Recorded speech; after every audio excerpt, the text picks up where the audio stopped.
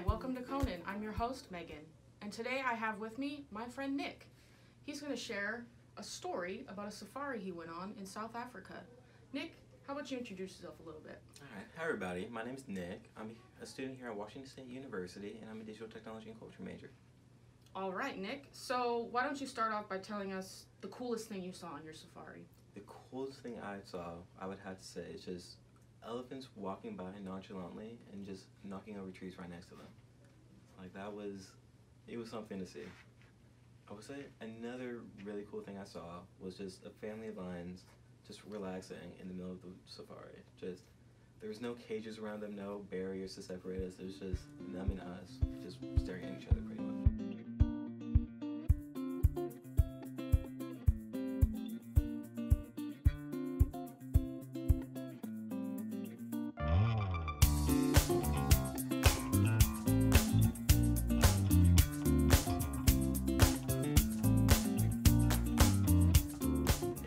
Serious note, was there anything that you took away from the trip? I would have to say the number one thing I took away was wealth disparity and just how different it is in other countries and especially in South Africa. Because for here we do see the poor and we see the rich and there's a pretty big difference. But at least here we have some form of like government funded agencies such as like public transportation and whatnot. So where we were staying was just a nice fancy house pretty much. It was uh, family friends owned it and it pretty much looked like a resort house. But then right next was there'd be people living in tin shacks, just families living in tin shacks, and it was just crazy to see.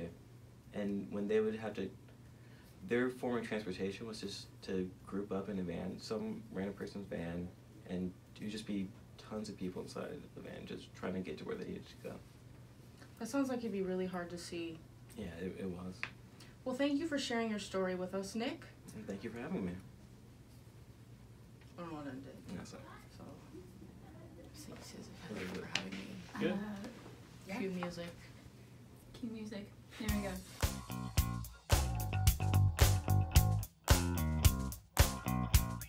This is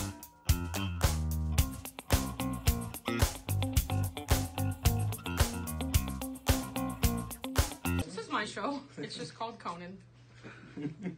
Not affiliated with the Conan show. Mm-mm. All right. Nothing to do with him. Our driver had a gun, and that was all the protection.